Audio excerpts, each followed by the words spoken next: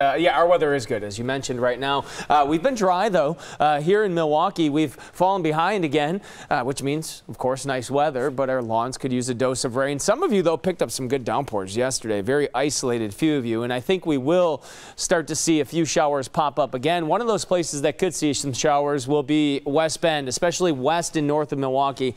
I think just like yesterday, has our best chance of seeing a few showers. 75 degrees right now in West Bend. Beautiful shot there. You can see the sun filter filtering through. 75 in Milwaukee, winds out of the northeast at 8 miles per hour and across southeastern Wisconsin. 76 in Watertown, 77 in Lake Geneva, and 78 degrees in Kenosha. The dew points are starting to climb, especially right here in Milwaukee, down towards Racine and Kenosha. Starting to see the dew points climbing into the 60s. I think eventually some of this more humid air will start to spread its way a little bit farther north. So if you're not starting to feel humid yet, that's going to change. And here's your dew point cast, and you'll notice not only today, but tomorrow, Thursday, and Friday, dew points into the 60s, which is humid, not terrible. This is where you really don't want to be, but we could be there uh, by this weekend. Okay, weather headlines. Isolated showers expected to pop up again. The best chance of rain for everybody is going to actually be tomorrow afternoon and into tomorrow night. It's looking to be a little bit sooner, maybe uh,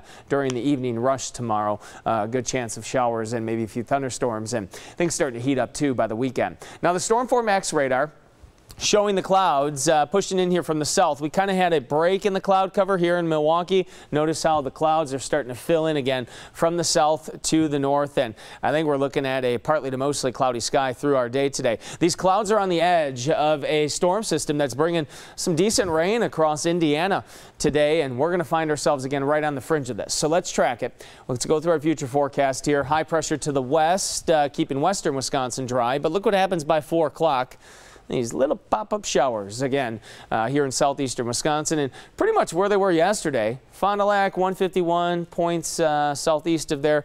Uh, potentially a couple scattered showers. I think most of the area stays dry again. 6 p.m. Still a scattered shower possible. By 11 o'clock, our rain chances come to an end. Now here comes a cold front. This is going to come into play as we head into tomorrow afternoon. 3 o'clock in the afternoon, the chance of a spotty shower. I think during 5, 6 o'clock, maybe a better chance of seeing some showers and storms. And then at that that holds together, that would move through around midnight tomorrow night and still maybe a few lingering showers or a thunderstorm on Thursday. All right, your forecast for today, a high of 78, mostly cloudy, slight chance of showers for tonight, low temperature of 65, inland 60 under partly cloudy skies. Here's the seven day. So we head on into Wednesday. Again, some showers and storms mainly in the afternoon, 83 for the high, 80 on Thursday, some scattered showers and storms, certainly not an all day rain, 83 on Friday. Friday looks good, nice summer day, and then hot hot this weekend. Saturday, 90 degrees and some scattered storms on Sunday and Monday. Still in the upper 80s, Vincent Elise.